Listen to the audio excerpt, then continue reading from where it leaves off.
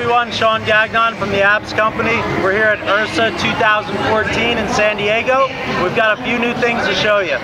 First, right here, we have the new Ab Coaster FT, and that stands for functional training. When you think about how your body works, you generally don't work both limbs together. You work independently, and that's exactly what this mimics. So the traditional Ab Coaster movement, you would move together. What the FT allows you to do is do some independent leg movements. A lot of variety. You can hold one at the top, just do the other, and switch. You can twist the handles to get some great oblique training in there as well. So a lot of versatility, and man, you really feel it in your core. We love this for circuit training applications and any other spot in your gym where members are looking for a great ab workout. Be sure to check out the website for some other cool things at theabscompany.com, and we'll see you soon.